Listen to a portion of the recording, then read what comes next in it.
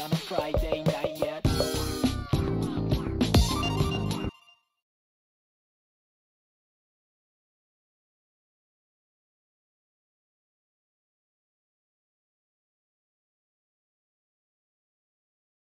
Three, two, one, go!